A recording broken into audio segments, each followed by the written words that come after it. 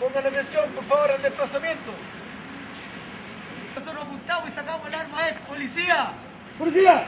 ¡Contacto! ¡Policía! ¡Descanso! Fueron dos días de intenso entrenamiento en el que participaron detectives de las brigadas de homicidio de todo Chile, además de algunos integrantes de la Brigada de Investigación Criminal de la PDI de San Antonio. Se trata de un plan especial de la Policía de Investigaciones, donde los expertos del equipo de reacción táctica antinarcóticos ERTA capacitaron a sus colegas detectives en técnicas de allanamiento, reducción de delincuentes, operativos antidroga, escena del crimen y trabajo en equipo, entre otras materias. Durante dos días, el grupo de élite de la Policía Civil puso a prueba la resistencia de los detectives, que a diario deben convivir con la delincuencia. En este recinto se encuentran reunidos detectives de Arica a Punta Arenas que trabajan en las distintas brigadas de homicidio del país.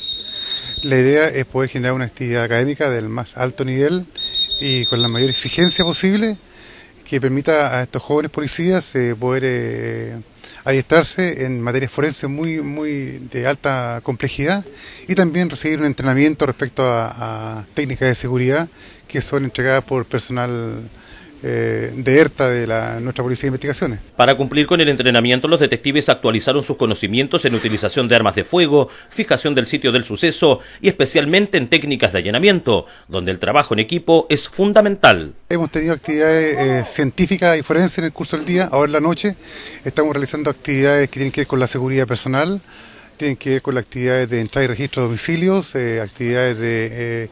Registro de personas y vehículos y tiene que ver con procedimientos habituales eh, que realiza la Policía de Investigación de Chile para garantizar el orden público. El curso de alta especialización para los detectives de las brigadas de homicidio de todo Chile se desarrolló íntegramente en el recinto que la Policía Civil tiene en Pelancura.